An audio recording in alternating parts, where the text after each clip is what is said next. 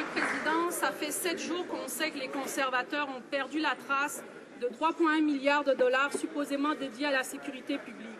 Sept longs jours et nous n'avons toujours aucune réponse sur la disparition de cette montagne d'argent.